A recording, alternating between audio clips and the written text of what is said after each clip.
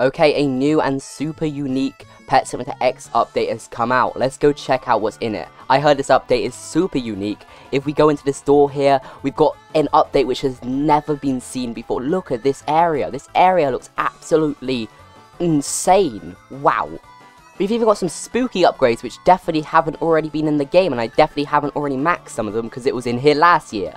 There's some even super unique new eggs such as this egg and this egg over here, which is very unique and definitely doesn't have the same pets as last year.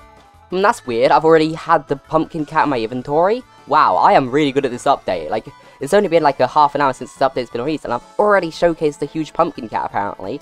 Wow. Guys, this update is obviously a 10 out of 10 clear certified updates. This update, honestly, I, I don't think it could be any better if this update was any better, I feel like we'd have to pay money for it. Like, because at this point, we're getting into AAA games. With the amount of, like, unique material between updates. Oh, wow. Oh, guys, don't get me started on the best part of this update. There's even a really unique way of getting loads of candy currency. Look at this. Look how unique and not repetitive this is. Wow. Look at look how much candy currency I'm getting. Wow. God, Preston really made this update special. Look at this. Wow, this is fun.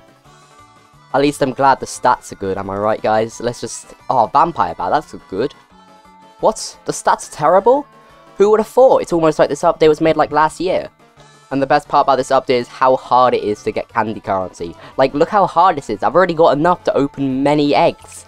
Just from breaking, like, one vault. Because the egg only costs 800k and I've now got 300 million. Well, this update is so hard.